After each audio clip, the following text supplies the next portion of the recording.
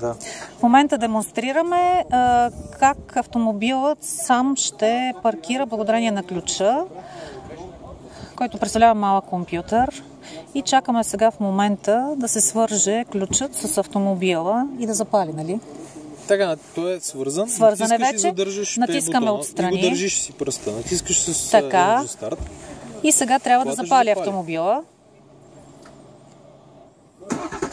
Така. в момента автомобилът запали. Нямаме шофьор вътре.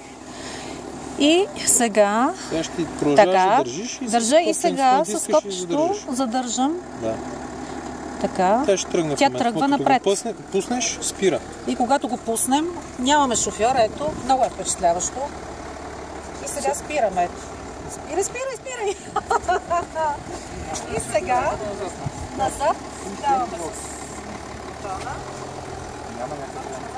Трябва да не ударим.